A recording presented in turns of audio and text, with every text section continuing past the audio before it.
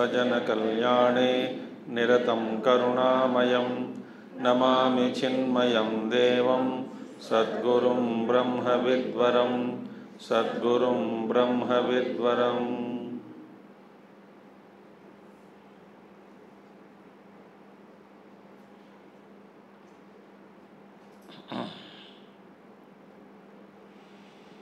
ॐ सदाशिवसमारम्भां शङ्कराचार्यमध्यमाम् अस्मदाचार्यपर्यन्तां वन्दे गुरुपरम्परां शङ्करं शङ्कराचार्यं केशवं बादरायणं।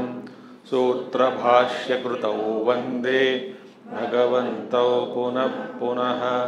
श्रुतिस्मृतिपुराणानाम् आलयं करुणालयं नमामि भगवत्पादं शङ्करं लोकशङ्करम्।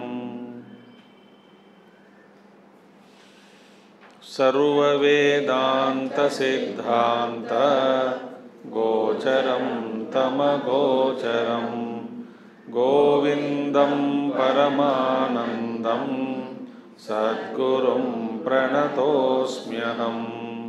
सद्गुरुं प्रणतोऽस्म्यहम्।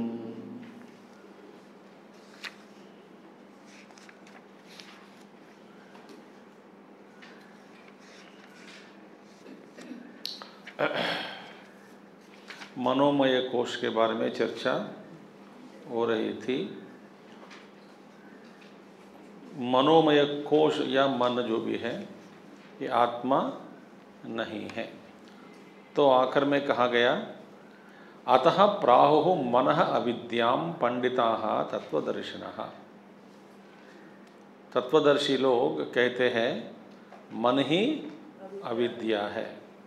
येन एव भ्राम्यते विश्वम ये सारा विश्व को घुमाने वाला मन ही है। वायुना इव अभ्रमंडलम। जैसे वायु के द्वारा अभ्रमंडल, माने बादल के जो समूह, वायु के द्वारा इधर उधर ले जाता है चले जाते हैं, घूमते हैं, फिरते हैं, वह अभ्रमंडलम इसी तरह संसार का कारण मन ही है। तन्मनशोधनम कार्यम प्रयत्न मुमुक्षुणा तो मनशोधनम मनशोधनम माने मन की शुद्धि। करना है। कैसे करना है? किसके द्वारा करना है? सबको ज़रूरी है क्या? नहीं। जिसको मोक्ष नहीं चाहिए, उसको नहीं चाहिए। करना कोई ज़रूरी नहीं है। मन जैसा है, वैसा ही रखो रखो और दुनिया में घूमो, फिरो, पाप भी करो, पुण्य भी करो। वे लोग पाप करने से भी, करने से भी डरते नहीं। क्योंकि पाप भीति नहीं है और पुण्य, पाप, कर्म, फल, इन सब के बारे में डर नहीं है। और मन शोधन के बारे, मन मन के बारे में जानते नहीं। शोधन ऐसे शोधन भी है, ये भी नहीं जानते। मगर मुमुक्षुणा जो मोक्ष चाहते हैं चाहते हैं, मोक्ष चाहने वाले हैं, उन सबको प्रयत्नपूर्वक मन की शुद्धि के लिए प्रयत्नपूर्वक करना चाहिए, मदद करना, मदद नहीं, मेहनत करनी है, लगान, लगन के साथ। विशुद्धे सति च एतस्मिन मुक्ति कर पलायते इसकी शुद्धि में ही एकदम शुद्ध हो गया हो तो आत्मा, ज्ञान, आत्मानुभव, खर फलायते। जैसे हाथ में रखा गया कोई एक फल का अनुभव जैसा होता है, वैसा ही स्पष्ट हो जाता है कि मैं कौन हूँ, क्या हूँ, ये स्पष्ट हो जाता है। ठीक है? तो और आगे कहेंगे मोक्षैकसक्त्या विषयेषु रागम्।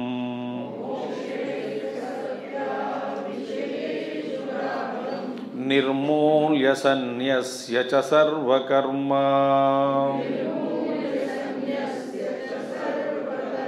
सच्छ्रद्धया सत्श्रद्धयायश्रवणाधिनिष्टो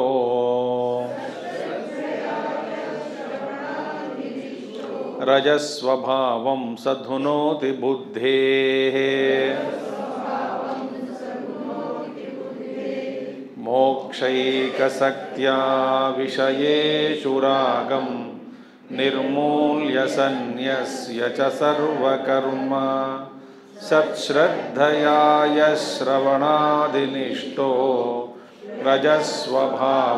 सधुनोति बुद्धेः। ठीक है सबको मिला कि नहीं श्लोक?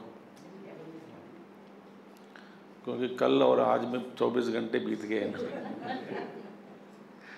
भूल गए होंगे ठीक है। मो, मोक्ष एक शक्तिया शक्ति मोक्ष एक शक्ति। ही माने जिसके लिए मोक्ष ही सब कुछ है मोक्ष ही गंतव्य स्थान है। मोक्ष के लिए ही उनके जीवन चल रहा है, मोक्ष भी ही चाहते हैं। शक्ति मोक्ष के प्रति प्रीति, लगन, निष्ठा, कमिटमेंट। शक्ति मोक्ष एक शक्ति ही। जैसे अज्ञानी जो पैसे के पीछे भागता है, उसका लगन किसमें होता है? पैसे के में पैसे में ही होता है, लगन पूरा। मन लगाता है पैसे के लिए ही। मोक्ष इच्छुक मोक्ष एक शक्ति ही। माने ऐसे कमिटमेंट के द्वारा, निर्धारण करके जीवन का लक्ष्य मेरे लिए मोक्ष ही है। ऐसा निर्धारण करके, उस निर्धारण के द्वारा, शक्ति के द्वारा, निष्ठा के द्वारा क्या करना है? विषयेशु रागम निर्मूल्य।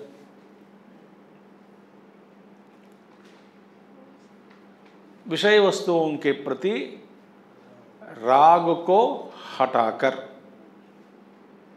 निर्मूल्य माने हटाकर। देखिए, जब तक मोक्ष के लिए तीव्र इच्छा नहीं होती, तीव्र इच्छा जब तक हमारे जीवन में ये जन्म प्राप्त हुआ, मेरा एक एक लक्ष्य मोक्ष ही है। सब कुछ गौण है। मुख्य क्या है? मोक्ष।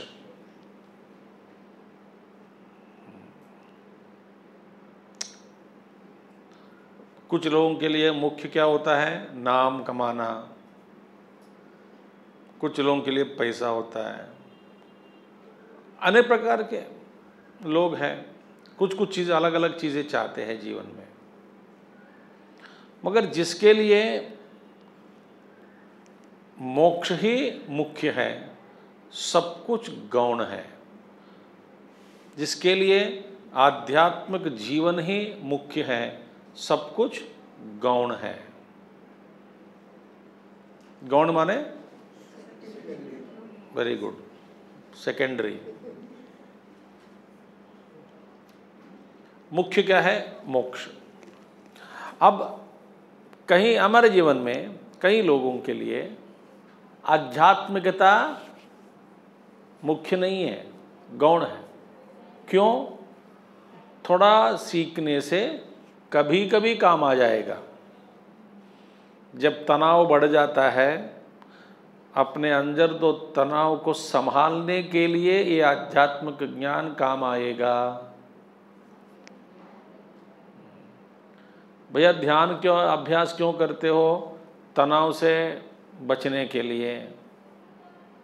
कई लोग ऐसे तो ध्यान का मतलब या आवश्यकता, ध्यान की आवश्यकता तो परमात्मा को जानने के लिए ही है। नहीं नहीं, हम वहाँ तक नहीं जाएँगे। स्वास्थ्य के लिए ध्यान, तनाव से मुक्त के लिए, मुक्ति के लिए ध्यान। देखिए, वहाँ पे भी आध्यात्मिक शास्त्र की सहायता लिया जा रहा है। किस लिए? हमारे लौकिक व्यवहार में मदद प्राप्त करने के लिए।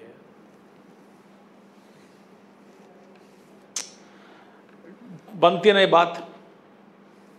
क्योंकि हमारे जीवन में मुख्य क्या है? गौण क्या है? अब देखिए, मुख्य और गौण इसका निर्णय लेने से अपने आप विषयों के प्रति राग हट जाता है। जैसे कि रेलगाड़ी में आप बैठे हैं, कहीं यात्रा जा रहे हैं, करने जा रहे हैं यहाँ से समझो बेंगलुरु जा रहे हैं गाड़ी में, ट्रेन में। और कोई सामने बैठा हुआ आदमी आपसे बहस करने लगा। आप भी एक दो मिनट के लिए बहस करेंगे। फिर बाद में यदि आप अक्लमंद हो तो आप सोचोगे कि इसके साथ 24 घंटे 36 घंटे के सफ़र है। इतने में इसका साथ क्या लड़ाई उड़ाई करना है? चुपचाप बैठ जाओ, उसको त्याग दिया। क्योंकि किस लिए आप गाड़ी में बैठे हैं? बेंगलुरु जाने के लिए उससे बहस करने के लिए? तो अकलमंद क्या करेगा? तुरंत वहीं उसको बहस को बंद कर देता है, त्याग देता है। क्योंकि लक्ष्य स्पष्ट है। शांति से बैठो, शांति से पहुँच जाओ गंतव्य स्थान। देखिए, जिसको ये लक्ष्य नहीं है, प्रस्फुटत नहीं है। प्रस्फुट माने क्लियर नहीं है। साफ़ साफ़ दिखाई नहीं दे रहा है लक्ष्य। तो फिर सबसे बहस करेगा, छोटा सा एक जंग सारी जारी होगी, वहाँ पे युद्ध करेगा, झगड़ा करेगा, अपना तनाव बढ़ाएगा। साथी लोगों का भी तनाव बढ़ा देता है। ये ज़रूरी है क्या? तो मोक्षेच्छुक क्या करेगा? जीवन के ये सफ़र में कई चीज़ें ऐसे हैं, किसी व्यक्ति के साथ बहस करना कोई ज़रूरी नहीं है, समझाना भी ज़रूरी नहीं है। जो समझने के लिए तैयार नहीं होते, उस बेवकूफ़ को समझाना भी हम अपना समय बेकार करना ही होता है। तो महात्मा लोग क्या करते हैं? साधक लोग, उत्कृष्ट साधक लोग, श्रेष्ठ साधक लोग क्या करते हैं? गौण को गौण ही रहने देते हैं। मुख्य क्या है? उनके लिए जो मोक्ष है, उसको मुख्य रूप में रखते हैं। उसको मुख्य रूप में रखने से जितने भी राग है, विषयों के प्रति धीरे धीरे हट जाता है देखिए जैसे कि होटल में गए, वहाँ पे जो सप्लाई करने आया उसके साथ युद्ध करने लगे। झगड़ा, बहस। क्यों? इसमें नमक कम है, मैं कितने साल से आ रहा हूँ, आपके होटल में होटल में किसी का कपड़ा ठीक से पहनो, साफ़ से सुथरा करो। अब ये तो हम लोग, आप लोग गए पाँच मिनट इडली खाने के लिए। दो इडली खाने में पाँच मिनट लगता है। वहाँ पे बैठ के बड़ा लेक्चर देते हो। आपको पसंद नहीं लगा चुपचाप बाहर चले जाओ। माने हमारी दृष्टि हमेशा लोग गलतियाँ कर रहे हैं, उनको सुधारना है। क्यों? मैं आध्यात्मिक जीवन जीना चाह रहा हूँ, मैं एक साधक हूँ, सबको ठीक करो।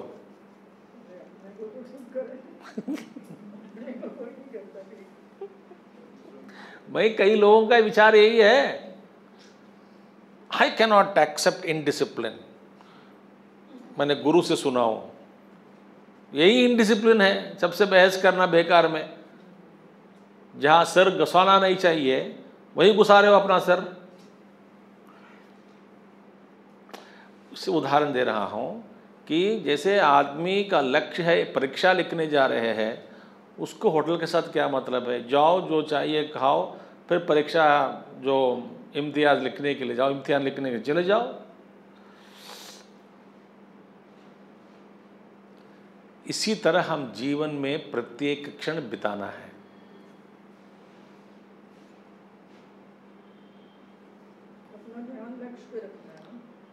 ध्यान लक्ष्य वो मोक्ष ही है। अब मैं किसी घर पे गया हूँ पहले बार बुलाया आखिरी बार भी होगा। अब क्या कौन भरोसा क्या भरोसा है कि दोबारा जाऊँगा? अब गलत में समझना मैं ज़िंदा रहूँगा वो भी ज़िंदा रहेंगे। मैंने कई बार ऑटो ड्राइवर से मिले हैं, बस कंडक्टर से मिलते हैं। आप क्या दोबारा मिलते हैं क्या उन्हीं से? मिलना हुआ तो बड़े आश्चर्य की बात है। तो ऐसा समझकर सबसे ऐसा व्यवहार करो व्यवहार ही खत्म कर दो वहाँ से, वहाँ तक। एक एक व्यवहार करो, शुरू करो, व्यवहार खत्म हो गया। आगे ले ले जाना नहीं ब्रॉड फॉरवर्ड बोलते हैं ना। अकाउंट्स में बी एफ़ हम तो सब कुछ ब्रॉड फॉरवर्ड कर लेते हैं।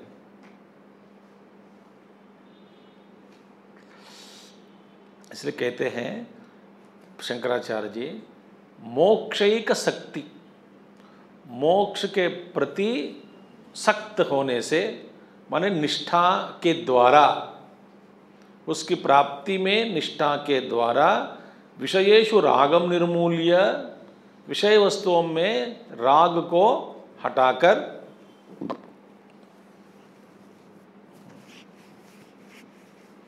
कोई आपसे मिलने आए पाँच मिनट के लिए, उसको बिठा के आप लेक्चर देने लगे कि कपड़ा ठीक से पहनना सीखो।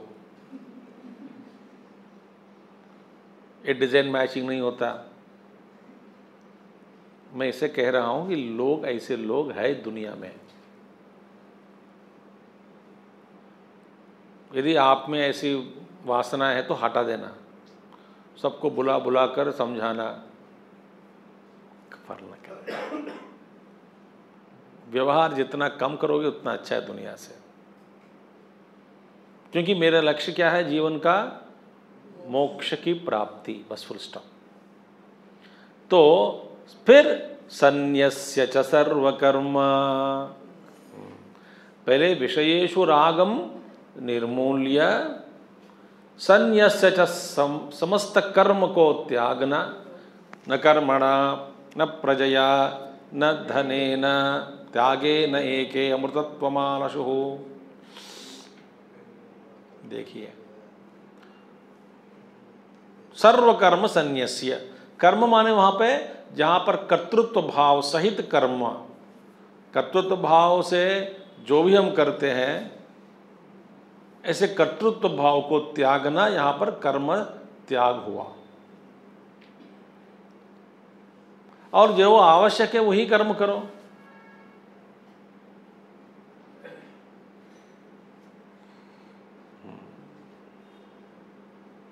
सर्मस्त कर्म सत्श्रद्धया। और सत्य में श्रद्धा रखो। मानी सत्य ही सत्य ही मेरे जीवन का आधार बने। और सत्य मुझे मेरी रक्षा करेगा। सत्श्रद्धया, सत्य में श्रद्धा रखे श्रवणादि निष्ठा उस सत्य की प्राप्ति के लिए श्रवण, मनन, निधिध्यासन में निष्ठा प्राप्त करना। क्योंकि पिछले श्लोक में बनाया, बताया गया कि मन शोधन करना है। कैसे करें? मन की शुद्धि करना है। यही श्लोक बता रहे हैं ना? मन की शुद्धि होना है तो पहले मोक्ष के प्रति निष्ठा विषयेशु रागम निर्मूल्य, फिर संन्यस च सर्वकर्म, सत्श्रद्धया य श्रवणादिनिष्ठ सत्य के प्रति श्रद्धा रखकर श्रवणादि मन इत्यादियों में साधना, माने सुनना, मनन करना, निधिध्यासन करना। इसके द्वारा रजस्वभाव सद्धुनोति। तो रजोगुण जो है, बुद्धि में, मन में, ये रजोगुण हट जाएगा धीरे धीरे धीरे धीरे। ये रजोगुण हटाकर मन को शुद्ध कर लेता है। यही साधना है। सबसे पहले क्या चीज़ चाहिए? आप तय करना चाहिए जीवन में आपको क्या चाहिए। बस। आपको क्या चाहिए इस जीवन से? क्योंकि पति, पत्नी, बच्चे कोई नहीं साथ देने वाला है। कोई भी नहीं है। जैसे इस क्षण मैं छोड़कर जाता हूँ, इस सारा ये इस जगत के साथ ही मेरा संबंध टूट जाता है। क्षण काल में इतना बड़ा स्वप्न प्रपंच आपने रचाई किया, रचना किया जिसकी रचना की आपने स्वप्न में। और टूटना कितना समय लगेगा? किसी ने हाथ लगा कर जागृत वाप सोया हुआ आदमी पर हाथ लगा, जगा दिया तब सारा स्वप्न खत्म हो गया। एक क्षण में टूट गया। अरे मैं गुलाब जाम खा रहा था, उठा दिया तुमने।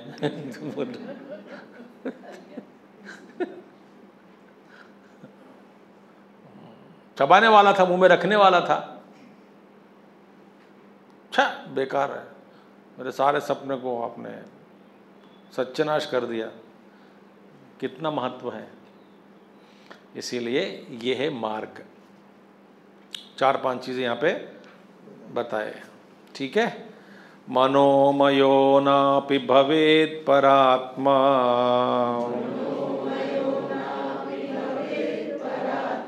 याद्यन्तवत्वात् परिणामि भावात्।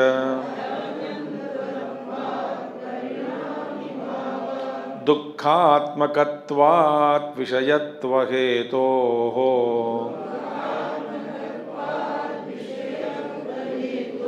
दृष्टा हि दृश्यात्मतया न दृष्टः।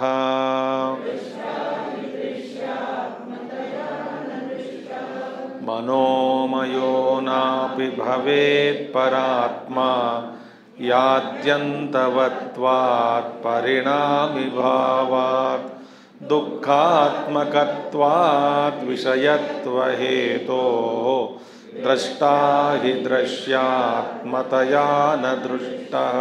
ये आखिरी श्लोक है मनोमय कोश में। ठीक है?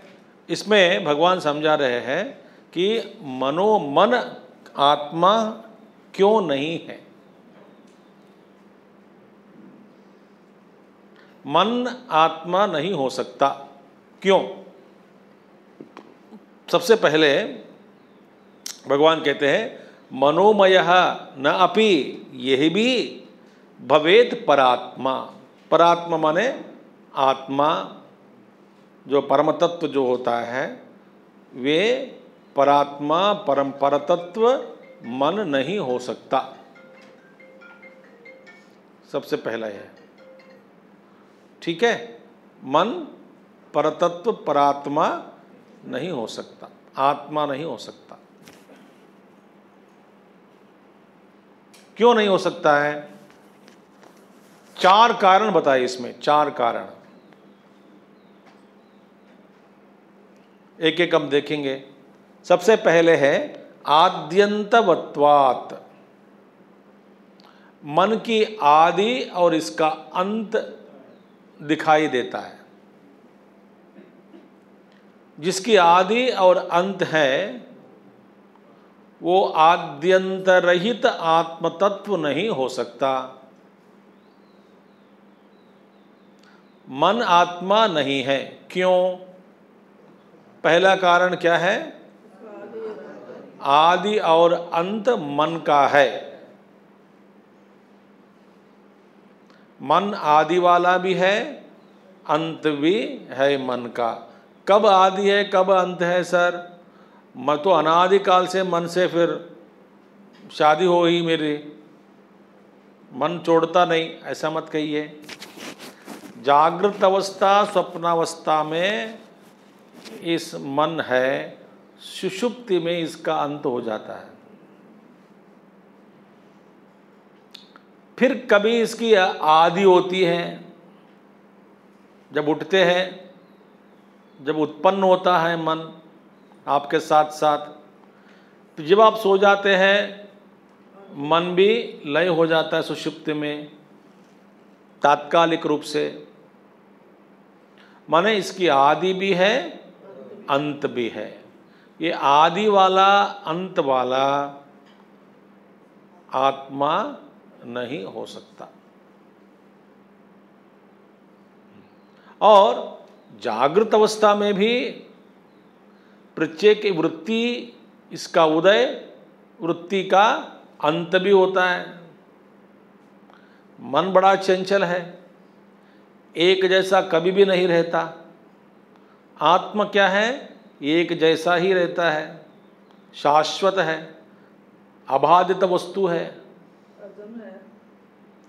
अजम है। तो इसीलिए ये मन आत्मा नहीं हो सकता। आदि अंतवत्वात। ये पहला कारण बताया। दूसरा है परिणामी अभावात मैंने कह तो दिया। और जागृत अवस्था में भी ये बदलता रहता है। स्वप्न अवस्था में भी बदलता रहता है। माने विकारवान मनहा। मन क्या है? विकारवान। विकार उनसे भरपूर। एक शिक्षण के लिए भी एक जैसा नहीं रहता।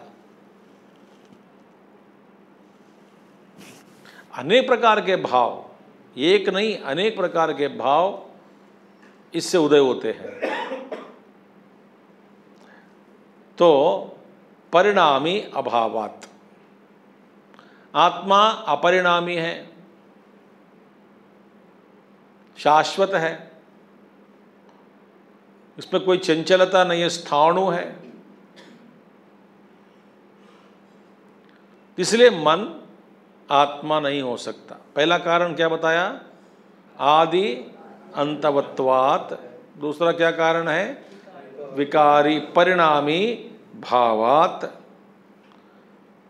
तीसरा क्या है? दुखात्मकत्वात। मन का स्वरूप क्या है? दुखात्मकत्वात। मन क्या दे रहा है हम सबको? सुख या दुख? दोनों मत बोलना। क्योंकि दुखी दे रहा है, सुख में भी दुख ही है। सुख क्या है? मैंने कह दिया भूल जाते हैं। सुख क्या है? Decorated form face of the sorrow powder लगाया अच्छा लगा के श्रृंगार करके दुख ही सुख के रूप में दर्शन देता है। कुछ समय के लिए नाचता है। और नाचते समय में भी, सुख भोगते समय में भी हमारा ये अंदर दुख होता है कि ये छूट जाएगा।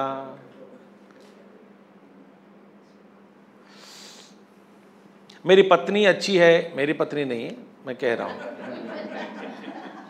मेरी पत्नी अच्छी है और उसमें डर भी है, पता नहीं कब, क्योंकि शादी के दिन में चंद्रमुखी थी। इसके बाद सूर्यमुखी बन गए। इसके बाद ज्वालामुखी बन गए। बदलती है। तो माने जो भी हम सुख भोगते हैं, उस सुख में एक डर भी छुपा हुआ है। तो सुख के साथ साथ अंदर में दुखी हो रहा है। डर है। किस रूप में दुख है? डर के रूप में। डर के रूप में। नौकरी मिल गई। किसी ने कहा I have got a permanent job in temporary department अब क्या फ़ायदा? वो कंपनी ही टेम्पररी है तो उसमें परमानेंट जॉब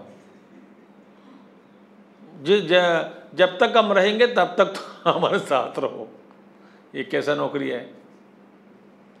डर डर से जीना पड़ेगा। किस दिन बंद हो जाएगा?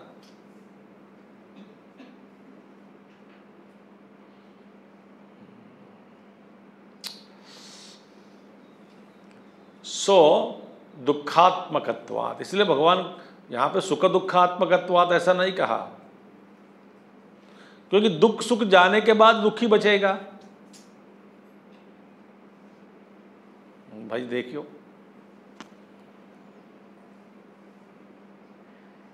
कोई भी शाश्वत नहीं है। कोई भी मर सकता है, कभी भी मर सकता है।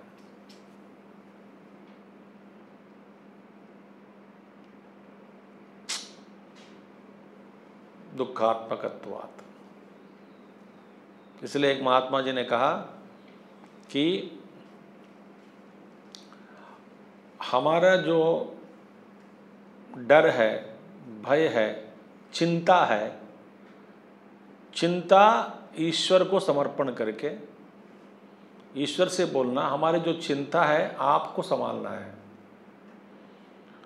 हम क्या करेंगे? हमारा कर्म करेंगे।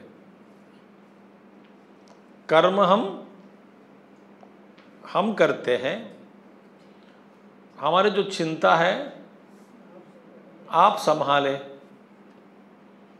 ऐसे कौन कह सकते हैं? एक अच्छा साधक, समझदार व्यक्ति कहता है। मैं कहना चाहिए वैसे ही। हम सब क्या करेंगे?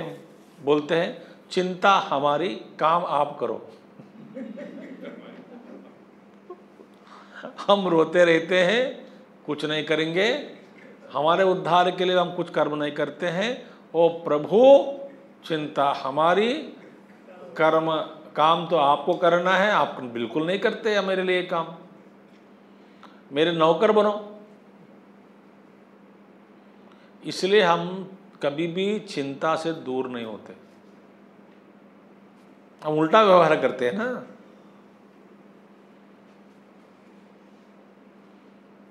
प्रभु से कहना, मेरी चिंता आप संभालना और मेरा कर्म आपने जो काम दिया है मुझे,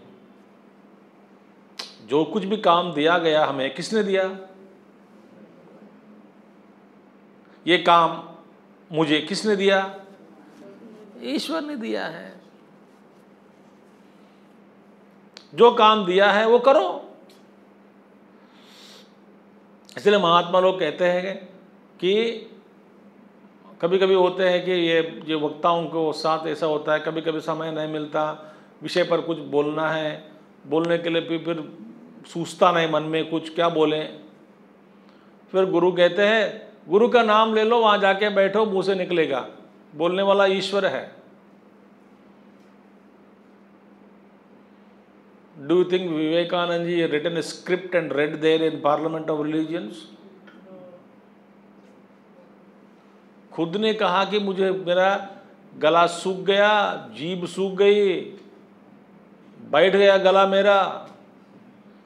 बस चार पाँच कदम डालने से मंच पर जाऊँगा।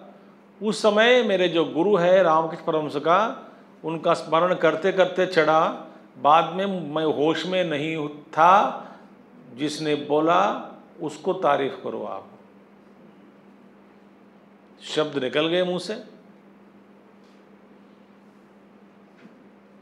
माने हमारा जो कर्तव्य है, निडर होकर करने के लिए उज्जुत रहना है।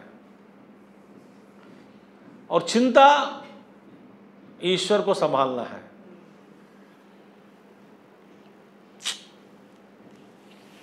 भक्त लोग यही किया है। हम क्या करते हैं? रोते रहते हैं और भगवान से कहते हैं, आप कुछ करते नहीं हो मेरे लिए काम।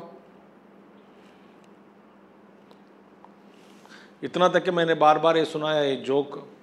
किसने तपस्या की? रोज तपस्या पूजा करते थे, पूछते थे, लॉटरी दिलाओ लॉटरी दिलाओ लॉटरी दिलाओ। आखिर में भगवान प्रत्यक्ष हो गए। पूछा, बेवकूफ़ कम से कम टिकट तो खरीद लो। टिकट खरीदे बिना रोज मांग रहे हैं, लॉटरी दो लॉटरी दो लॉटरी दो। लॉटरी कहाँ से दे? टिकट तो खरीद लो। तू तो अपना तो कर्म करो। कई महात्मा लोग यही बताया है कि जाके कुछ ना कुछ लिख के भर के आओ एक अवधूत है। वो कहते, तुम जाओ, जी मर्ज़ी, जो लिखना है लिखो। जो लिखना है लिखो, मैं कुछ पढ़ाए नहीं, जो लिखना है लिखो। भगवान का नाम लिखना है, लिखते जाओ। फिर पास हो जाओगे। कैसे? उसको जो आंसर ही दिखेगा, जो राइटिंग करने वाला। उतना तो करो। बोले महात्मा जी लिखो जाके बैठ जाओ। मेरे आशीर्वाद से उसको जो दिखेगा दिखेगा। देखिए। माने ऐसा पूर्ण विश्वास हो द्रौपदी के जैसे। पहले कहते द्वारकावासा, दूर पे भगवान कृष्ण पर हृदयवासी बोले, फिर आगे प्रत्यक्ष हो गया। नज़दीक वाला है, अंतर्यामी। दूर से आने के लिए समय लगता है। देरी क्यों की? तुमने पुकारा, द्वारकावासी, वैकुंठवासी। गोलोकवासी, दूर दूर जाने में लगता है टाइम ये अंतर्यामी फटक प्रकट हो गया. तो इसीलिए दुखात्मकत्वात मन दुख स्वरूप है. जब तक, अब और कोई दुख नहीं है, सर. मन ही दुख है. और कोई दुख है ही नहीं. मन ही संसार है, मन ही दुख है। ठीक है? तीन कारण बता चुके हैं। क्या क्या है? आद्यंतवंतवाद परिणामी भावाद दुखात्मकत्वाद विषयत्व हेतु। हो ये मन है विषय है। दृश्य, दृष्टा नहीं है। क्योंकि आप, के मन में जो कुछ भी हो रहा है, आप जानते हैं कि नहीं? क्यों जानते हैं? मन विषय है। आपका विषय है। चैतन्य का विषय है मन। शुद्ध चैतन्य दृष्टा है, दृश्य मन है। तो जो दिखाई दे रहा है, वो कभी आत्मा नहीं हो सकता। पदार्थ है, दृश्य पदार्थ। मैं जानता हूँ कि मेरे मन में अभी ऐसे भावना हो रही है, ऐसी भाव हो रहा है, ऐसा दुखी है, सुखी हूँ, दुखी हूँ, ऐसे ऐसे विचार हो रहे हैं मेरे मन में। मैं जानता हूँ इन विचारों को। तो जानने वाला अलग है। तो मन जाना जाता है। दृश्य है। दृश्य कभी दृष्टा नहीं हो सकता। आत्मा तो दृष्टा है, इसलिए मन आत्मा नहीं है। चार कारणता है। दृष्टा ही दृश्यात्मतया न दृष्टा। दृष्टा कभी दृश्य नहीं बनता। दृश्य होकर दिखाई नहीं देता। सॉरी हाँ दृश्य होकर दिखाई नहीं देता। कौन? दृष्टा। दृष्टा हमेशा के लिए दृष्टा है। दृश्य हमेशा के लिए दृश्य है। रूपम दृश्यम, लोचनम दृक, तदृश्यम दृक्तुमानसम। दृश्याधिवृत्त साक्षी दृग्यव न तो दृश्यते। जो आखिर में जो दृक है, वो कभी न दृश्यते। Observer can never be observed तो इसीलिए चार कारण शंकराचार्य जी बताए हैं। इन इन्हीं चार कारणों के कारण आत्मा मन नहीं हो सकता, माने मन आत्मा नहीं हो सकता। अब यहाँ से लेकर के 206 श्लोक वर्ग 206 बीच में इसका भी विभाग करके बताया गया, मगर 206 तक विज्ञानमय कोश के बारे में बताएँगे। इन्हीं कोशों के बारे में, तत्वबोध में, संक्षिप्त में बताया अत्यंत संक्षिप्त में मन क्या है, बुद्धि क्या है एक एक श्लोक बता दिया सूत्र के रूप में। मगर यहाँ पे विस्तार से बताया जा रहा है कि एक एक कोश क्या है, ये क्यों आत्मा नहीं हो सकते?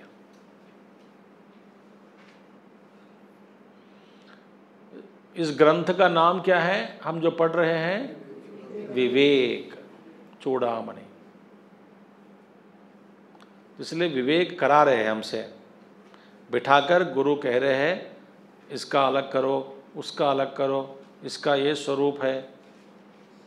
विज्ञानमय कोश भी आत्मा नहीं हो सकता है। क्यों नहीं हो सकता?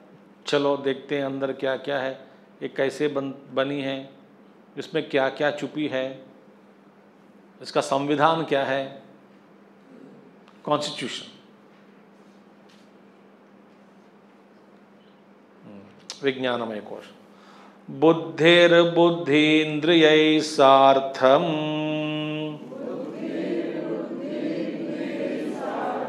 सवृत्ते कर्तृलक्षणः। विज्ञानमयकोश स्यात् पुंसः संसारकारणम्। बुद्धिर्बुद्धीन्द्रिय सार्थ, सवृत्ति कर्तृलक्षण। विज्ञानमय कोश संसार कारणम यहाँ पे स्याता लिखा हुआ है हिंदी में, उसको त करिए, त, पूर्णता नहीं, अर्धता।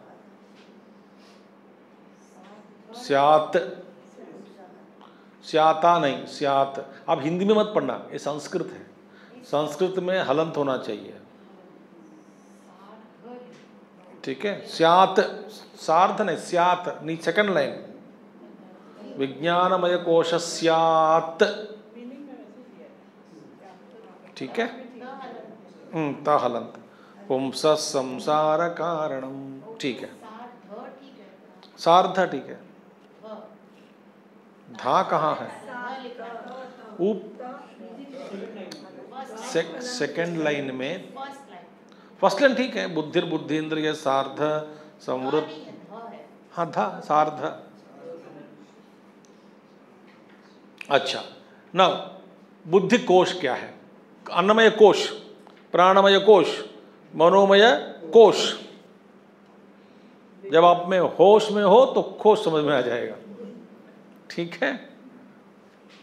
तो हमारा अन्नमय होश में है, प्राणमय होश में है, मनोमय होश में है तो विज्ञानमय कोश के बारे में भी हम होश में यदि होते हैं तो समझ में आ जाता है। ठीक है? तो होश में है ना आप सब लोग? बुद्धि ही, बुद्धि इंद्रिय ही सार्थ सवृत्ति ही कर्तृलक्षण। एक एक ले लेंगे। बुद्धि बुद्धि विज्ञान में एक कोश। कोश क्या है इसमें? पहले बुद्धि है, इंद्रिय ही सहित। माने ज्ञानेन्द्रियों के साथ बुद्धि और मन में फ़र्क क्या है? इतना ही है। निश्चयात्मका बुद्धि ही संशयात्मका मन और पदार्थ, मन का पदार्थ और सब्सटेंस और बुद्धि का पदार्थ एक ही है। एक ही पदार्थ से ये दोनों बने हैं। वहाँ पे दो नहीं है, सभी वृत्त्यात्मक ही है। तो दोनों ज्ञानेन्द्रियों के साथ ही संबंध है। प्राणमय शरीर कर्मेंद्रियों के साथ। बुद्धि और मन ज्ञानेन्द्रियों के साथ है। तो बुद्धि और ज्ञानेन्द्रियों के साथ सहित और बुद्धि में वृत्तियाँ जो होती है थॉट्स सवृत्ति ही। वृत्ति, समझ आ रही बात आपको? एक बुद्धि है। बुद्धि में वृत्तियाँ हो रही है। और थॉट्स है। वृत्ति और इंद्रियों सहित। और उसमें क्या है? कर्तृलक्षण। कर्तृत्व भाव इसी में है। अब इसमें थोड़ा हम चर्चा करेंगे। ये तो समझाया हूँ, पहले पहले बार भी हम देखे हैं, पहले से पहले भी। फिर दोबारा थोड़ा ध्यान करेंगे इस पर। सबसे पहले है, पहली बात। बुद्धि एक पदार्थ है। पदार्थ माने पदार्थ माने पदार्थ ही है। अत्यंत सूक्ष्म पदार्थ। क्योंकि बुद्धि किससे बनी? तन्मात्राओं से बनी है। तन्मात्राएँ क्या होते हैं? अपंचीकृत तन्मात्रा माने आकाश, वायु, अग्नि जल और पृथ्वी, जो हम देख रहे वो नहीं है। इसमें मिलावटी है। जो तन्मात्राएँ, इससे पूर्व स्थिति। सो शुद्ध जो तन्मात्राएँ हैं, तन्मात्राओं शुद्ध है, मैंने पंचीकरण से पूर्व, मिलने से, मिलावट से पहले की जो अवस्था है, वो भी पदार्थ ही है। तो उस उन पदार्थों में ऐसा एक पदार्थ है विश्व में जो बिंब को प्रतिबिंब के रूप में स्वीकार कर सकती है। ये एक पदार्थ है, जैसे कि दर्पण में ही हमारा प्रतिबिंब पड़ता है। माने दर्पण क्या है, ये भी पदार्थ ही है। पत्थर क्या है, वो भी पदार्थ है। मगर पत्थर में प्रतिबिंब ग्रहण करने की शक्ति नहीं है। दीवार के सामने खड़ा हो जाए, दीवार के अंदर हमारा प्रतिबिंब नहीं पड़ता। क्यों? हम जो बिंब है, इस बिंब को प्रतिबिंब के रूप में ग्रहण करने का सामर्थ्य दीवार में नहीं है।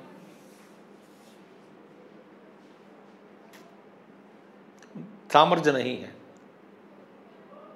तो ऐसा एक ही पदार्थ है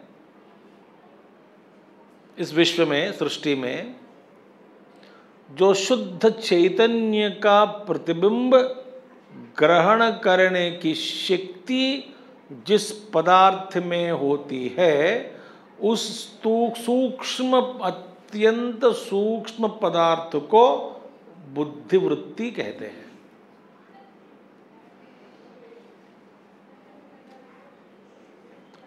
ठीक है। सब में नहीं पड़ता प्रतिबिंब। तो अभी जीव क्या हुआ? जीव का दूसरा नाम क्या है? बुद्धिवृत्ति। माने तीन चीज़ की आवश्यक है आवश्यकता है। इन तीन चीज़ों से जीव बनता है। मैं कह रहा हूँ, जीव बन गया। कैसे बना? बिंब, प्रतिबिंब और प्रतिबिंब पढ़ने का जो माध्यम है, पदार्थ है, वो पदार्थ के साथ साथ सो पदार्थ बुद्धि, सूक्ष्म पदार्थ बुद्धि, उसमें प्रतिबिंब पड़ा प्रतिबिंब पड़ा है? चिदाभास आभा चित्त आभास। चित्त का आभास, चैतन्य का आभास। चैतन्य का आभास सब में क्यों नहीं पड़ता? पहला प्रतिबिंब। पहला प्रतिबिंब ग्रहण करने का सामर्थ्य केवल बुद्धिवृत्ति में ही है।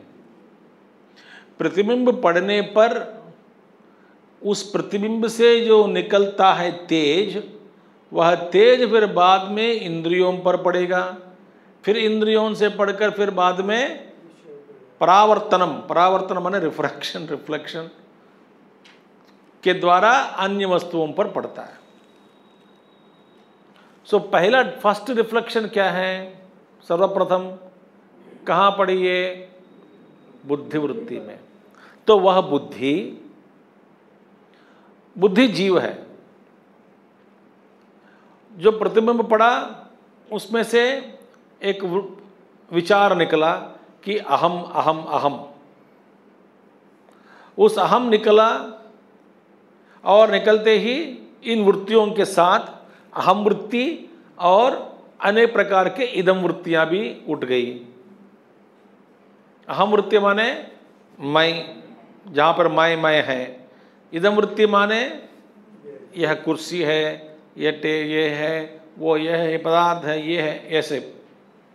सो इन सारे वृत्तियों में, बुद्धि वृत्तियों में, जो अहम वृत्ति अहम वृत्ति क्यों कहा गया? जिस वृत्ति में प्रतिबिंब पड़ा, वो जीव बना तो बुद्धि, जो पदार्थ है, इंद्रियों के सहित और सवृत्ति ही वृत्तियों के साथ और इस, इसका बुद्धि का स्वभाव क्या है? कर्तृलक्षण। अहम कर्ता। ये कहाँ से निकलता है? बुद्धि में निकलती है। कर्तृत्व भाव निकलता है बुद्धि में। अच्छा चैतन्य का? शुद्ध चैतन्य का ही प्रतिबिंब।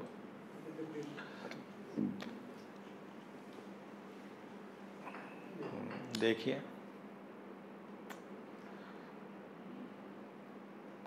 जैसे कि एक दीवार है।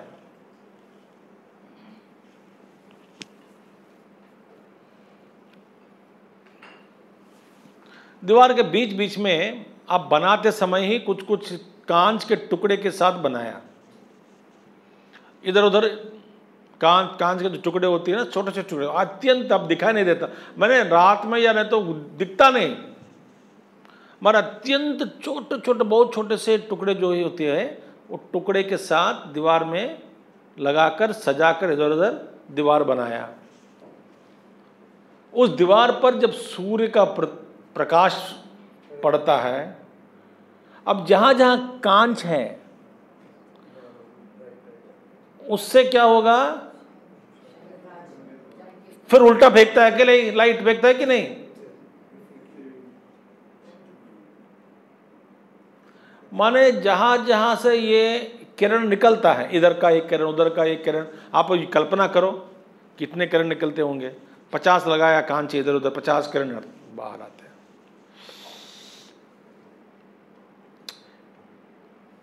वो पचास जीव समझो।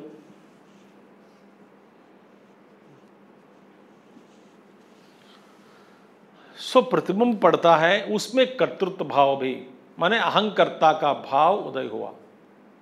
क्यों हुआ? प्रतिबिंब पढ़ने के बाद प्रतिबिंब सोचने लगा, मैं बिंब से अलग हूँ। और बाकी बिंबियों, बिंबों से भी अलग हूँ। बिंब ने प्रतिबिंब सॉरी प्रतिबिंबों से भी मैं अलग हूँ।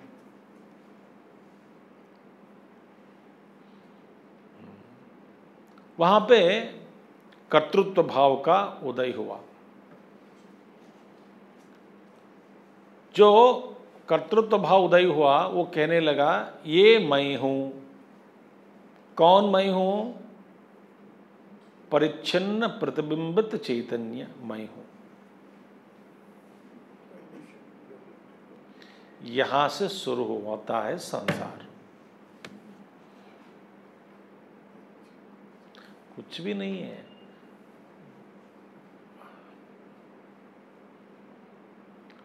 उसमें संस्कार पड़ने से फिर क्या हुआ? कर्तृलक्षण हो गया, कर्तृभाव।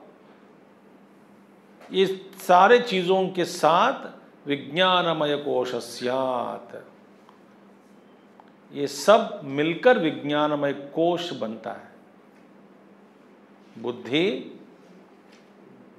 बुद्धि इंद्रियों के सहित बुद्धि में प्रतिबिंब तस्वृत्तियाँ और कर्तृलक्षण जो होता है उसमें से कर्तृत्व भाव, ये सारे झमेला मिलकर क्या बनता है? विज्ञानमय कोश बनता है। इसमें संसार कारणम पुंसहा मनुष्य का संसार का कारण बनता है। क्या ये बुद्धि है? कर्तृत्व लक्षण बनता है। मैं अहंकर्ता मैं प्रतिबिंब हूँ, मैं ये परिच्छिन्न हूँ, मैं बिंब से अलग हूँ, मैं बाकी प्रतिबिंबों से भी मैं अलग हूँ। मेरी एक विशिष्टता है, मैंपन है, मुझमें मैं करता हूँ, मैं, मुझे सुख चाहिए, मैं एक भोगता हूँ। ठीक है? मैं करता हूँ तो भोगता हूँ। नियम क्या है? जो करता है, उसी को भोगना है। जो कर्म करता है, उसी को उस कर्म का फल भोगना है। तो कर्म फल क्या करेगा? दौड़ते दौड़ते दौड़ते दौड़ते उसी कर्ता के पास जाएगा। कर्म फल इसका उदाहरण शास्त्रों में दिया है, पुराणों में दिया है। जैसे कि एक लाखों गाय है, उसमें से एक गा, गोमाता अपने बिछड़ बच्चे के साथ है। उस बिछड़े वो बछड़े का अलग कर दो आप। कर दिया, दूर ले गया, फिर बाहर कहीं छोड़ दिया। लाखों गायों में अपने माँ को ढूंढते ढूंढते ढूंढते ढूंढते ये वहीं मिलेगा माँ के साथ मिल जाएगी। इसी तरह इस अनंत विश्व संसार में कर्म फल ढूंढता रहता है। किसको ढूंढता है? करता।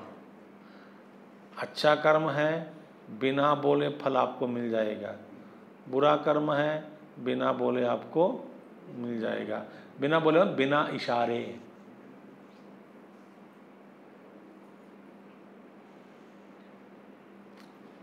तो कर्तृत्व लक्षण जो है, कर्तापन आ गया, संसार आ गया। क्योंकि भोगना है। संसार माने क्या है? सुख दुख भोगना ही है। और भोगने के लिए तो दूसरा जन्म लेता है। ये है। तो जब प्रतिबिंब पड़ेगा हाँ पड़ेगा प्रतिबिंब, बिंब, प्रतिबिंब, बुद्धि उपाधि, ये जीव बना, वहाँ उसमें कर्तृत्व भाव का जन्म होता है। उस कर्तृत्व भाव के साथ फिर कर्म करना, कर्म का फल भोगना, फिर में फलों के भोगने के लिए दूसरी उपाधि को ग्रहण करना फिर मार खाना फिर संसार शुरू हुआ। फिर डर लगता है शरीर छोड़ने में मरने में। में आप करता है आप लेक्चर दे रहे हैं प्रवचन कर रहे हैं हम लोग तो सारे भोक्ता है। करता भोक्ता इस केस में थोड़ा अलग हो गए। नहीं सब में कर्तृत्वपन है। आप श्रवण है श्रवण कर रहे हैं ना? श्रवण करता है आप।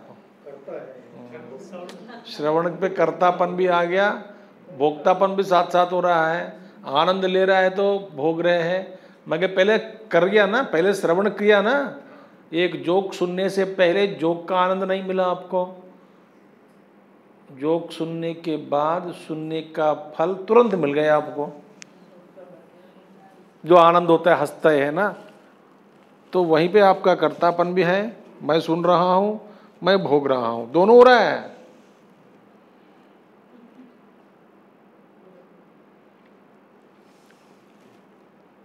हो रहा है कि नहीं? दोनों हो रहा है। तो हम और आप बराबर है, दुखी मत होना। ठीक है? ये है, ये हो गया। तो संसार का शुरुआत। अनादि है, पता नहीं कब किए है, पहली गलती की है, अभी तक। वहाँ पता नहीं कब की है गलती हम सब। पहली गलती जो थी, बस वही संसार का कारण बना। अनुव्रज चित प्रतिबिंब शक्ति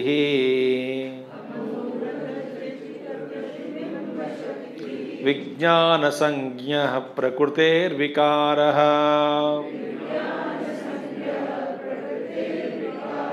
ज्ञान क्रियावानहमित्यजस्रम् देह्या देहेन्द्रियादिष्वभिमन्यते भृशम्।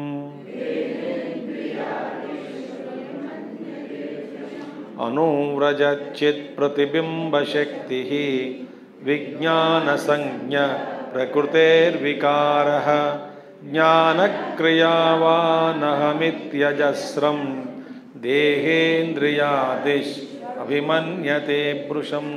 देखिए, अभी बुद्धि विज्ञान में कोश क्या है? बुद्धि, है ना? बुद्धि क्या है? अत्यंत सूक्ष्म पदार्थ, जिसमें बिंब को प्रतिबिंब के रूप में स्वीकार करने की शक्ति मौजूद है। तो प्रतिबिंब पड़ा, वो प्रतिबिंब ही जीव है और बुद्धि के बिना प्रतिबिंब नहीं पड़ेगा, पदार्थ के बिना प्रतिबिंब नहीं पड़ेगा। और पदार्थ है, वहाँ पर बिंब ही नहीं है तो तभी भी नहीं बनेगा, बिंब प्रतिबिंब नहीं बन सकता पदार्थ के बिना। तो इसीलिए यहाँ पे कहे, जो प्रतिबिंब पड़ा ना तो बुद्धि, देखिए, मेरे और देखिए, उपाधि घूमता है विश्व में। जैसे कि मैंने एक कांच को लिया, इस कांच को लिया दिन में सूर्य की ओर दिखाया। सूर्य का बिंब पड़ा।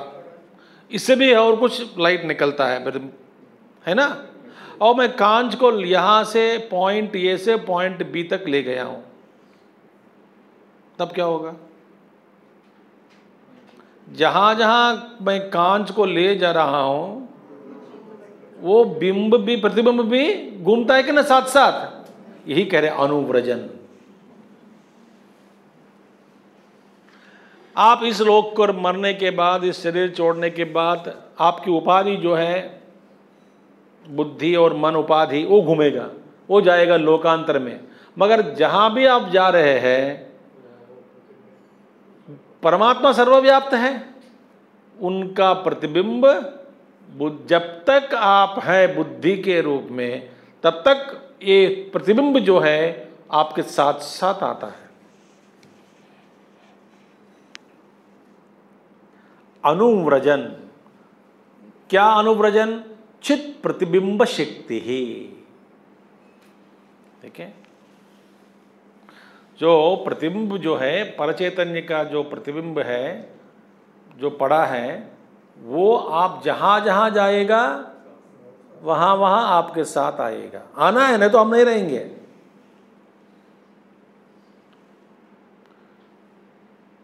स्वभाव है। क्योंकि आत्मा नहीं आत्मा हिलता नहीं, सर्वव्यापक है। तो हिलने वाला कौन है? प्रतिबिंब।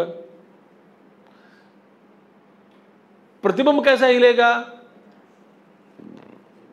भैया पदार्थ के बिना प्रतिबिंब नहीं होता। तो प्रतिबिंब कैसे हिलता है पदार्थ के बिना?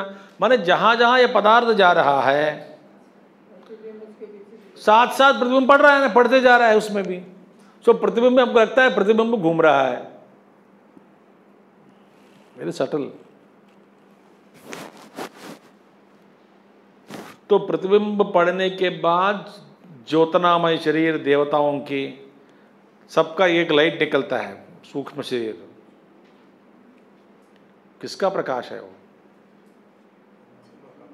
परमात्मा का प्रतिबिंबित प्रकाश ही है। मगर उपाधि शुद्ध हो तो तेजोवान। उपाधि में बिल्कुल रजोगुण, तमोगुण ज़्यादा है तो ज़्यादा प्रकाशित नहीं होता। ब्रह्मवर्चसेना। ब्रह्मवर्चस। इसीलिए अनुव्रजन चित प्रतिबिंब शक्ति ही। तो ये प्रतिबिंब शक्ति, बुद्धि जहाँ जहाँ जाता है, जाती है, घूमती है, फिरती है, इस दृष्टि में प्रतिबिंब भी साथ साथ चलेगा।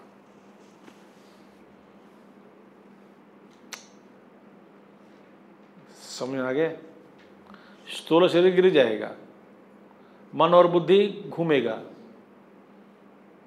मिस्टर भटकात्मा तो बटकात्मा जहाँ जहाँ जाएगा, ये साथ साथ प्रतिबिंब पड़ेगा ही। अब जब तक प्रतिबिंब पड़ने के लिए वो पदार्थ है, बनी रहती है, तब तक जीव रहता है। जब प्रतिबिंब ही विलीन हो गया, मन पदार्थ विलीन हो गया, बिंब, प्रतिबिंब, बिंब में विलीन हो जाता है, जब परमात्मा ही बचता है।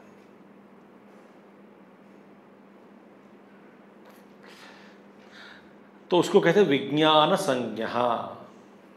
संज्ञा माने संज्ञा नामक संज्ञा। इट इज़ कॉल्ड एज विज्ञानमय कोश। विज्ञान संज्ञा और प्रकृति विकार। ये प्रकृति की है, प्रकृति का ही विकार है। क्या बुद्धि? क्यों पदार्थ है ना? जड़मय प्रकृति से ही निकला सब कुछ।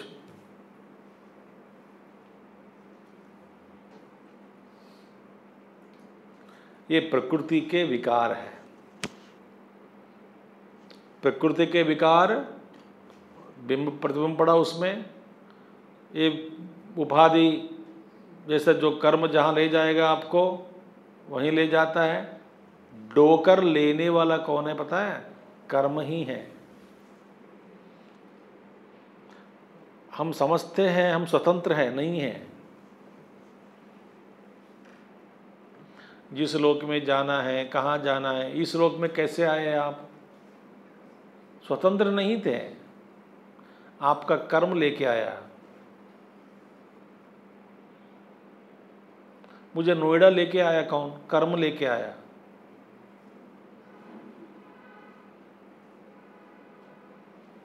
देखिए। मैं क्या किया? कुछ नहीं किया। हूँ तो ये कर्म ले जाएगा उपाधियों को। तो विज्ञान संज्ञा ये प्रकृति के कार्य है और ज्ञान क्रियावान बुद्धि में ये तीन शक्तियाँ सामोजित है। क्या ज्ञान शक्ति, क्रिया शक्ति?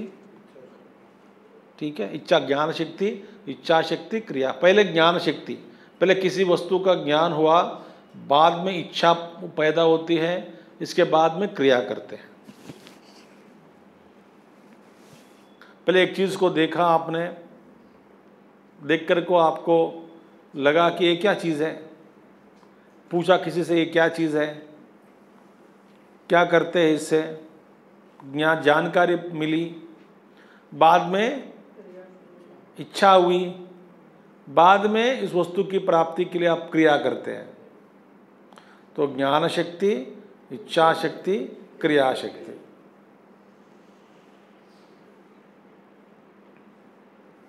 तो ये है ज्ञान क्रियावान अहमिति, अजस्रम और मैं हूँ मैं मैं मैं ऐसा आई जो है, अजस्रम मने इस आई का कभी लुप्त नहीं होता हमता का लुप्त कभी नहीं होता। अजस्रम है। मैं मैं मैं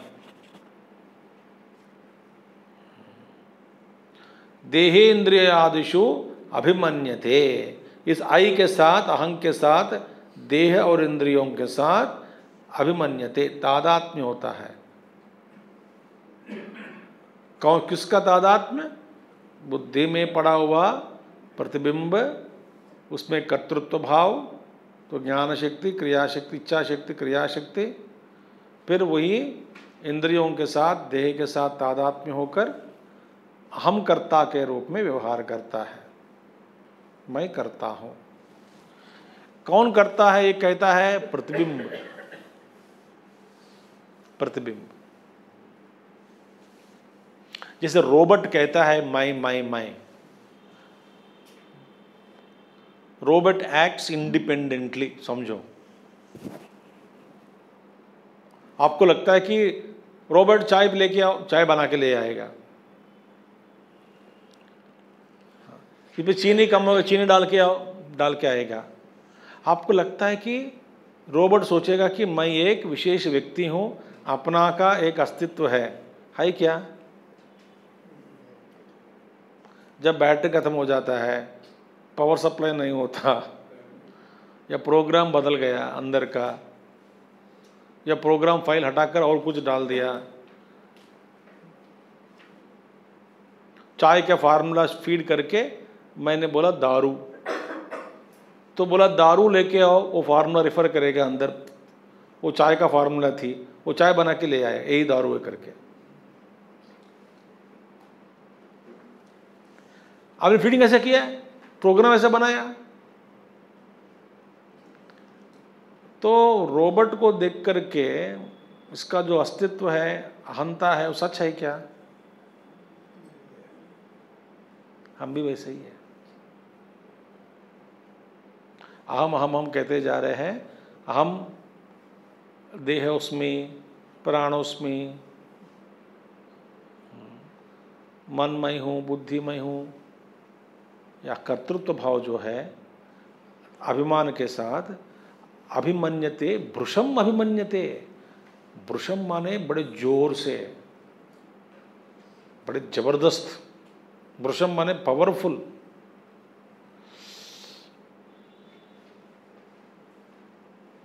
एक महात्मा उदाहरण दिया, आप जानते हैं ना, उसको क्या कहते हैं, हिंदी में भूल गए नाम। माउंटेन लिजर्ड जो रस्सी फेंको पकड़ के पकड़ेगा ऊपर से आप चढ़ भी सकते हैं। ऐसा जो जानवर माउंटेन लिजर्ड होता है। पूरा राजा लोग क्या करते थे चौर लोग, जो भी है सब लोग, उसको रस्सी फेंको, पकड़ेगा। वो गिरेगा नहीं। आप चढ़ो रस्सी पकड़, इतना पकड़ेगा, दस लोग भी वो रस्सी को खींचने के ट्राई करो, वो निकलेगा नहीं नीचे। इसको कहते हैं भ्रषम माने ज़बरदस्त तादात्म्य। किसके साथ? शरीर, मन, इंद्रिय, इनके साथ। ये है विज्ञानमय कोश। तो विज्ञानमय कोश ही जीव है। वही परिच्छिन्न अहम।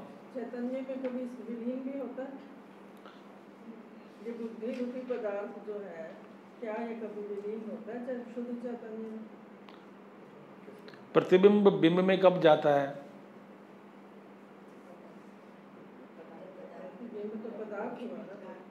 प्रतिबिंब बिंब में विलीन कब होता है? जब प्रतिबिंबित जो जिसमें पदार्थ किया गया, उसका नाश होने पर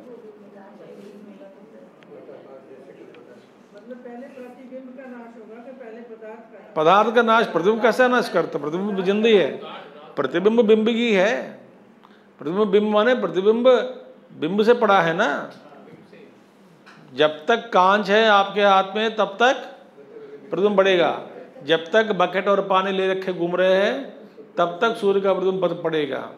जब आप मन, उसके पानी, मन रूपी पानी को खत्म ही कर दिया तो अंदर का प्रतिबिंब बिंब में विलीन हो गया। ऐसा उदाहरण शास्त्रों में दिया गया समझाने के लिए। अब बाकी अनुभव की बात है। ठीक है? हमको क्या करना चाहिए? ये टेक्निकलिटीज छोड़ दो। मन शोधन करो। शुद्ध करते जाओ, जो होगा होगा।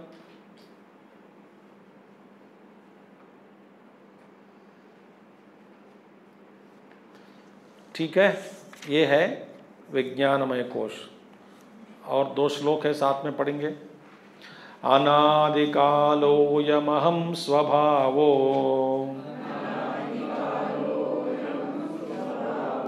जीवः समस्तव्यवहारवोढा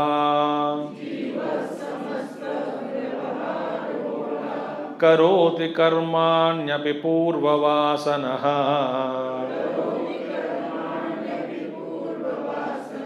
पुण्यानि पुण्यानि च तत्फलानि। पुण्यान्यपुण्यानि च तत्फलानि। भुङ्क्ते विचित्रा स्वपयोनिषु व्रजन्।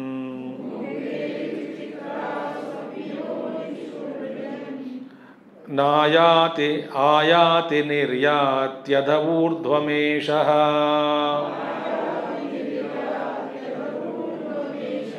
अस्यैव विज्ञानमयस्य जाग्रतः। स्वप्नाद्यवस्था सुखदुःखभोगः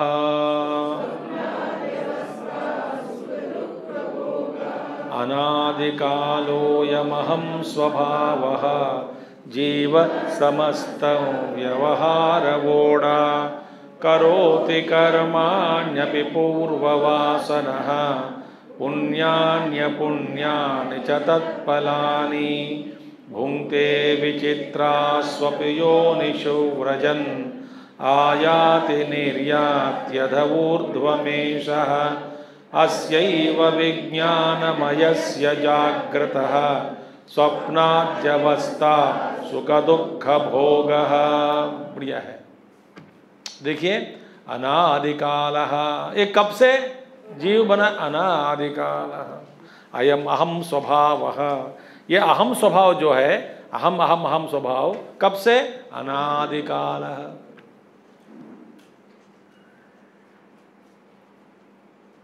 पता नहीं है। अब बता रहा हूँ आपको।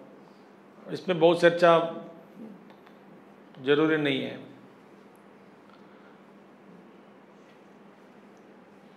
जब आप दुख भोग रहे हैं, जब कोई डॉक्टर के पास गए, आप इतना, आप बेहोश हो गया, लगभग बेहोश हो रहे हैं। लगभग बोला मैंने, बेहोश नहीं हुए। दर्द के कारण। फिर इशारा तो दे रहे हैं, हाथ लेकर के पेट में दर्द है। अपेंडिक्स हो सकता है और कोई हो सकता है, जो भी है। उस समय डॉक्टर का क्या काम है बताओ? पहले तुरंत दर्द से मुक्ति दिलाने के लिए इंजेक्शन दो, दवा दो, जो भी है, पहले बड़ा दर्द हो रहा है मरीज़ को उसको पहले रहा, थोड़ा दिला दो तब डॉक्टर पूछने लगा, समझो, तुम्हारा जन्म कब हुआ? कहाँ जन्म हुए? फॉर्म भरनी है। पिताजी का नाम बताओ। माताजी का नाम बताओ। उम्र क्या है? कहाँ रहते हो? मोबाइल नंबर क्या है? ईमेल आईडी क्या है? ये कब से शुरू हुआ? इससे पहले कभी आया क्या ऐसा दर्द? ये सब प्रश्न पूछता है क्या? बताइए। पूछा तो पागल डॉक्टर ही है। हाँ? पहले क्या करना चाहिए? पहले दर्द दूर करो। इससे मुक्ति दिला दो। तब मैं कहानी सुनाऊँगा आपको। अब मैं मरते जा रहा हूँ। कल क्या खाए? दो दो दिन पहले क्या खाए? बाहर खाए क्या? अंदर ही खाए क्या? कौन सा होटल में खाए? ये सब ज़रूरी है क्या? पहले कुछ दवा दो। पेन किलर दो पहले, पेन किलर दो। बाद में आप टेस्ट कराओ। जो भी है करो करो। पहले पहले दर्द से दूर मुक्ति दो। इसी तरह है।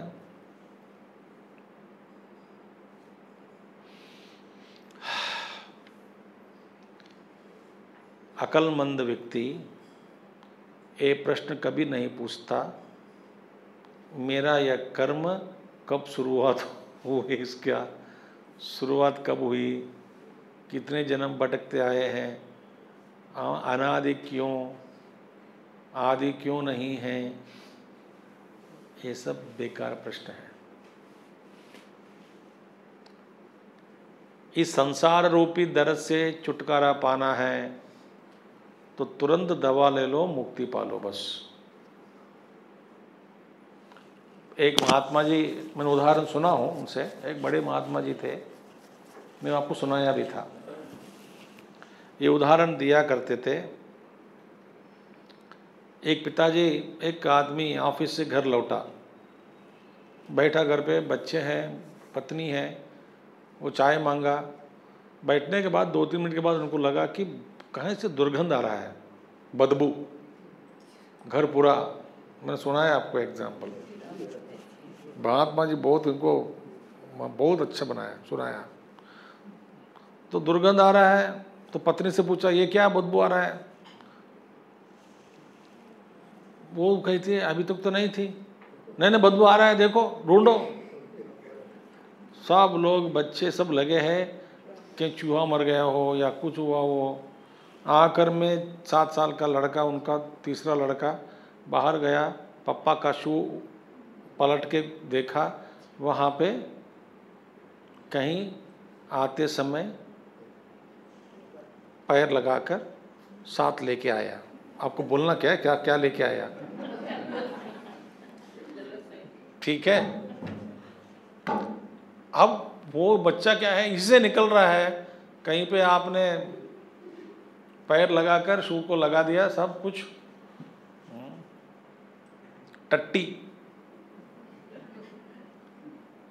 और बदबू इतना आ रहा है तब आप ये प्रश्न पूछोगे, क्या किसका हो सकता है? कब का हुआ?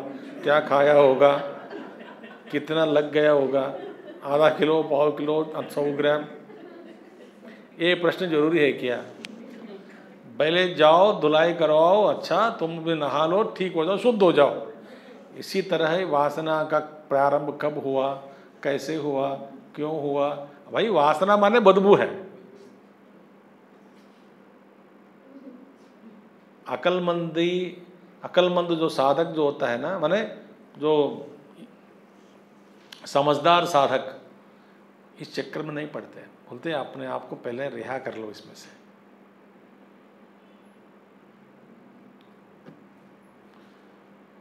सो ये क्या है? अनादिकाल उसका आदि नहीं है। अयम, उसका स्वभाव क्या है? अयम अहम स्वभाव। इसका स्वभाव क्या है? अहम स्वभाव। मैं मैं मैं बोलता रहेगा। जीव समस्त व्यवहार वोढ़ा। वोढ़ा माने वहती। मैं डोने वाला, डोकर जाने वाला। सारे व्यवहार, दुनिया भर का व्यवहार, अपना व्यवहार, बिचारा कंधे पर लगाकर जा रहा है यात्रा में। कहीं यात्रा कोई दिशा नहीं है, कुछ भी नहीं है, भटक रहा है। समस्त व्यवहार वोढ़ा।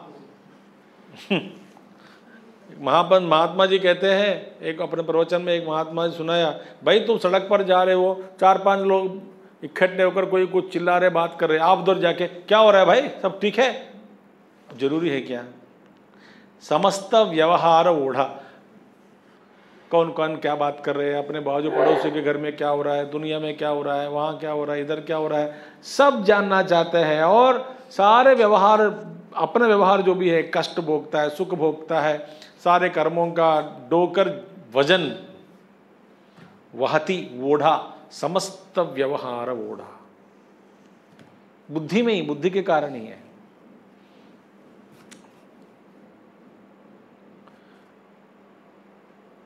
रवण महर्षि देखिए, समस्त व्यवहार वोड़ा थे वो, नहीं? सारे व्यवहारों को छोड़ दिए बैठे ऐसे बैठे। भगवान, दुनिया का क्या होगा?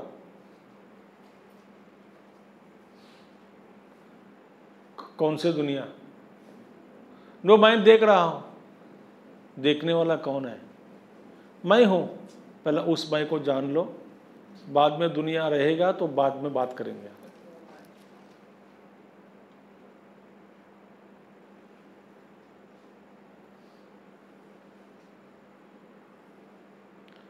बैठे बैठे चिंता। अपनी चिंता, लोगों की चिंता, जगत के, जगत का भी चिंता सारे सिर सिर पर लगाकर, हाय राम क्या होगा?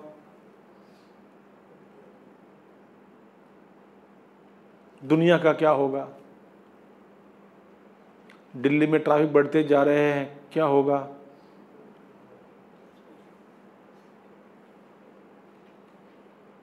हाँ? 2019 में इलेक्शंस आ रहे क्या होगा? हाँ चिंता क्यों? जो होगा भगवान है, ईश्वर जो करने थे ना काम।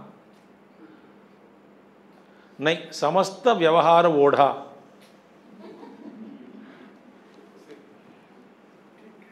सारी चिंता। हाय राम, उनका हाँ जी, सुनिए जी, पत्नी वाचा। पति तक के आया है। बोलता है बबे क्या सुना सुना बोलना जो बोलो। नहीं, बाजू वाले लड़का है ना हाँ उसको नौकरी मिल नहीं रहा है। तो मैं क्या करूँ? समस्त व्यवहार वोडा बुद्धि है। चिंता।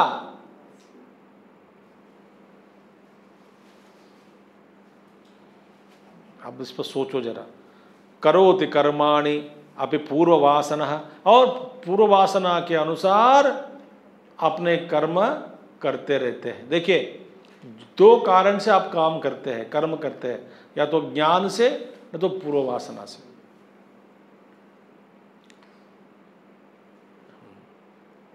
आपको ज्ञान हुआ, जिसका एक एक कर्म का ज्ञान है, आप करना चाहते हैं, करना भी है तो ज्ञान से करेंगे। जो आवश्यक है कर्म करेंगे। आप जानते हैं कैसे करना? किया है। नहीं तो पूर्व वासना। वासना आपको प्रेरणा देती है। तो वासना के कारण आप कर्म करते हैं। एक तो ज्ञान, दूसरा वासना। बट वासनाएँ हैं, मगर ज्ञान अधिक बल है। ज्ञान में ज़्यादा बल है तो आप बुरे वासनाओं को दबा कर सकते हैं। ज्ञान से आपको जीत सकते हैं वासनाओं को। और ज्ञान के अनुसार कर्म कर सकते हैं वासना के अनुसार कर्म नहीं करेंगे। यदि वासना का प्राबल्य ज़्यादा हो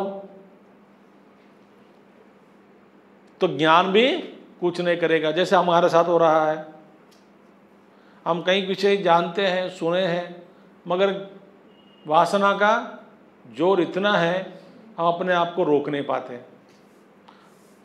सात्विक आहार के बारे में प्रवचन सुना, सुनने के बाद घर गए जो नहीं खाना है, वही खाते हैं। भाई, अभी सुना है ना सात्विक आहार? शुद्ध सात्विक आहार ग्रहण करो। भगवान ने बताया, मगर वासना का जो बल है, वो ज़्यादा है। जिस दिन आप, क्या ये ज्ञान है कि विवेक चरण सुनना है? ज्ञान भी है, वासना भी है तो आ गए यदि जिस दिन अन्य अन्य वासना आपको पकड़ लिया, उस दिन नहीं आएँगे आप।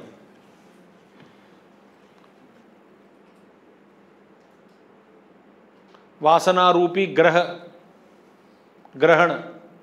इसलिए देखिए, करोति कर्माणि अपि पूर्ववासन, पुण्यानि अपुण्यानि च तत्फलानि। और पुण्य, कर्म करना, पाप कर्म करना, फलों को भोगना, ये सब किसके लिए हो रहा है? किसको हो रहा है? जीव को इस संसार में भटक रहा है। भुंगते विचित्रासु अपनी योनिषु व्रजन। अनेक प्रकार के भोग भोगते हैं। और कैसे? विचित्रासु अपनी योनिषु, विचित्र विचित्र शरीरों में घुसकर भोगते हैं। माने जन्म लेकर भोगते हैं। विचित्र शरीर। विचित्र शरीर माने पृथ्वी पे तीन भाग जल से भरा है पृथ्वी, भरी है कि नहीं? अच्छा। कितने तरह तरह के जानवर होते पता है आपको? सागर के गर्भ में, पता नहीं। तो आप, हम भी एक जानवर बनेंगे, ऑक्टोपसी। पता नहीं। ये कह नहीं सकते, अभी जो ऑक्टोपसी मगर को देखा, ये कभी मनुष्य नहीं बना हो, ऐसी बात नहीं, बना होगा। He was a human being earlier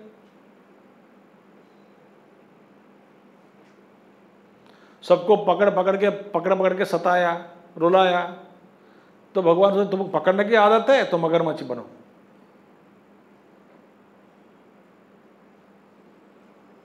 विचित्र, देखिए, विचित्रासु अपनी योनिषु। विचित्र विचित्र योनियाँ होती है, उनमें हमारा जन्म होता है। जब तक शरीर है भैया, हम सब भाग्यवान है। शरीर छूटने के बाद पता नहीं कौन सा जन्म आएगा। कोई भरोसा नहीं है। मैंने विवेक मैंने सुना तो क्या? तो क्या? सबको रुलाया ना? हम्म, सबका खून पिया? हाँ। मच्छर बनो कोई भरोसा नहीं है। कोई भी भरोसा नहीं है। क्योंकि पुण्य कर्म करते हैं, पाप कर्म करते हैं, कौन सा कर्म के लिए कौन सा फल भोगना है? विचित्र आसुयोन व्रजन घूमते, व्रजन माने घूमना, फिरना। निर्याति, आयाति ऊर्ध्वमेश आयाति विचित्र में आना, फिर जाना, फिर आना, फिर जाना, कभी ऊपर जाना, ऊर्ध्वलोकों में, कभी नीचे गिरना। अथ पाताल में ये जीव की गति है। कोई भरोसा नहीं है। पाप और पुण्य कर्म के अनुसार अस्व विज्ञानमय से जागृत अवस्था स्वप्न अवस्था इन सभी सभी अवस्थाओं में यह अवस्था भी बुद्धि के लिए होती है। सारे अवस्थाओं में सुख दुख भोगना लगातार ये है विज्ञानमय कोश का स्वभाव, कर्म और भोगना, फल भोगना है। यह है विज्ञानमय कोश। ये आत्मा कभी भी नहीं हो सकता। क्यों? कल देखेंगे। ओम पूर्णमद पूर्णमिदम पूर्णात् पूर्णमुदच्यते, पूर्णस्य पूर्णमादाय पूर्णमेवावशिष्यते।